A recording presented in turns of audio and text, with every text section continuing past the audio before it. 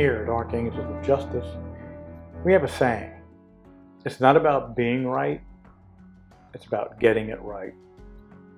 And getting it right the first time. The reason I'm bringing that up is for several years, Ira and I have been working on cases of police corruption or police incompetence or a combination of both. And sometimes that actually leaks right into the prosecutor's office and to judges.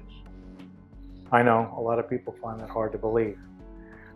Hi, Salvatore Rastrelli, the Archangels of Justice. Hi, I'm Ira Robins from the Archangels of Justice.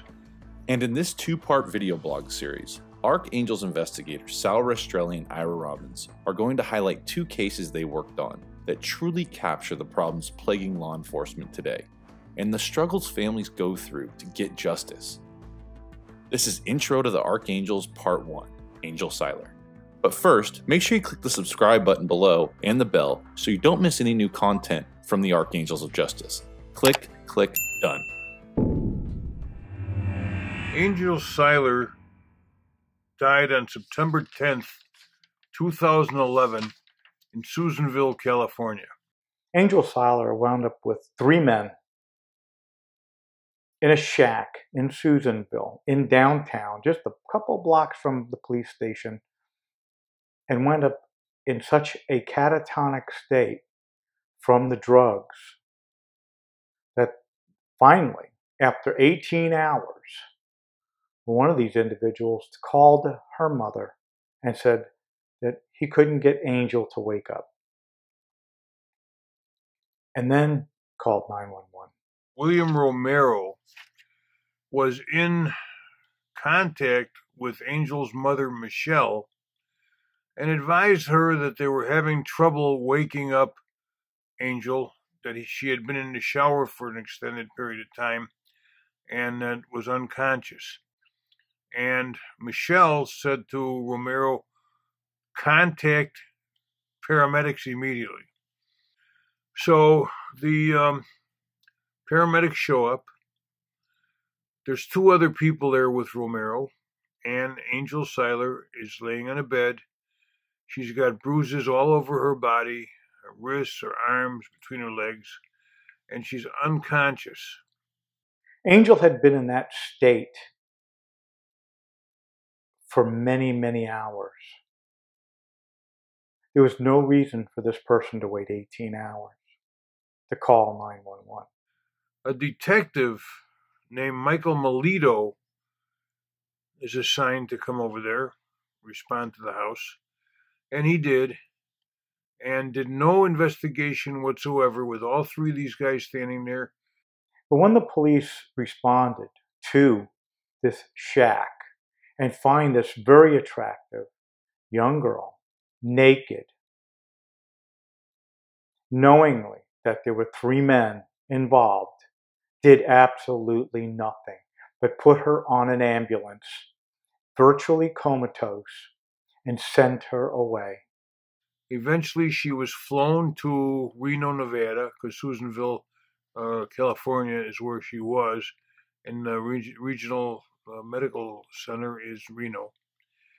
They flew her there, and on the uh, 10th of uh, September, she passes away. William Romero came to the scene. Um, at one point, he knocked out her breathing tube, drove all the way from Susanville to Reno, Nevada, went in the hospital, knocked out her breathing tube, wrote all over her body with a pen, and uh, well, demanded drugs for himself. And from there, he uh, was thrown out because he was in possession of a knife also. Angel was full of bruises around her throat, her arms, and her thighs. Nothing was done nor documented by law enforcement. Her mother took pictures at the hospital.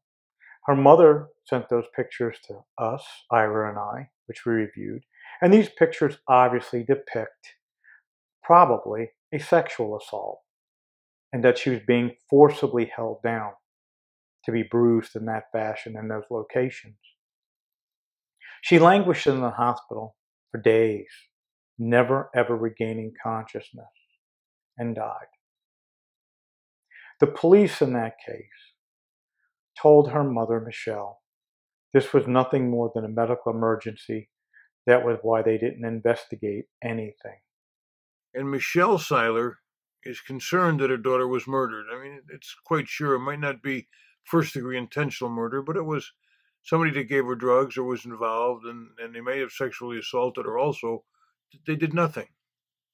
They did no investigation, nothing whatsoever. They didn't ask the hospital for any kind of uh, uh, testing to be done, sexual assault testing or anything like that. And uh, then the when Michelle Siler tries to, you know, get some answers, they treat her like she's a bad person. They won't give her any information, and uh, they tell her it's a pending investigation, but they did nothing. So this languished for a couple years. We got involved in it, we investigated it, re reviewed all the documentation, and found medical notes where a doctor wrote that the amount of drugs in her system were not self administered because of the lifespan going through the body, the metabolic rate indicated that while she was under the influence of other drugs, someone continually fed her drugs through injection sites or otherwise. Salvatore and I went to Susanville, California. The police department refused to meet with us. The state's attorney refused to meet with us. The detective involved in the scene refused to meet with us. Although we did see him in a restaurant, he refused to talk to us. The state's attorney husband, the state's attorney's husband, had a radio show for the area. Uh, he was the DJ or whatever, the MC, and he made a substantial amount of statements about Sal and me, about our work, etc and said we didn't have the courage to come on his radio show. We immediately called and tried to get on, but he refused to let us. We tried desperately to interview with the police and the prosecutor. Ultimately, they realized the pressure from us was too great, and they eventually arrested one, just one of the three. But they had done such a lousy investigation and had treated Michelle Siler so badly that um, and make made all kinds of statements that uh, she was wrong and didn't know what she was talking about, and derogatory remarks about the deceased Angel Siler. That they turned around and once they charged him with murder, eventually had to reduce it.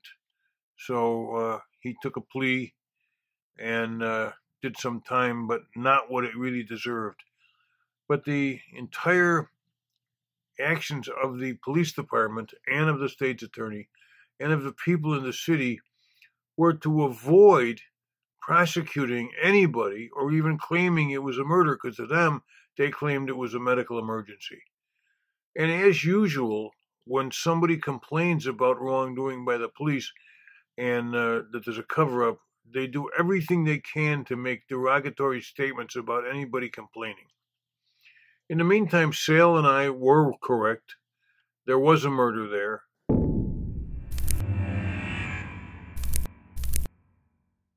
One of the other individuals involved in that case was arrested about a year and a half ago in an entirely different case. Guess what he had done? He had drugged another girl and sexually assaulted her, and he is in jail now. But when we went after them, they heckled us. They believed we were crazy, but we wouldn't back off.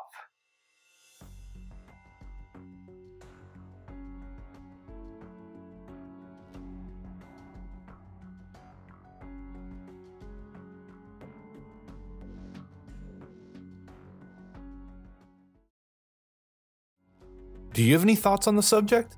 Let us know in the comments below or reach out to us on Twitter and Facebook. If you want more content, you can check out our website, archangelsofjustice.com, which is updated weekly. You can also sign up for our monthly newsletter. Thank you for watching this latest entry from Archangels of Justice, and we hope to see you back here soon.